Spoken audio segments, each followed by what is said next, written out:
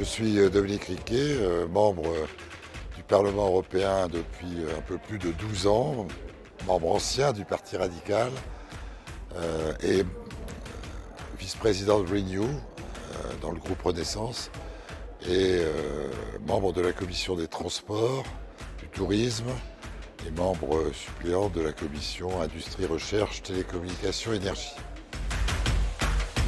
Parlement les deux, mon général. États-Unis d'Europe. Homme politique maintenant, chirurgien avant. Japon. Référendum européen. Ni l'un ni l'autre. Euh, approfondissement. Plan de relance pour l'Europe. Plutôt Juncker. Nucléaire. Les deux, c'est compatible. Boule. Universalisme.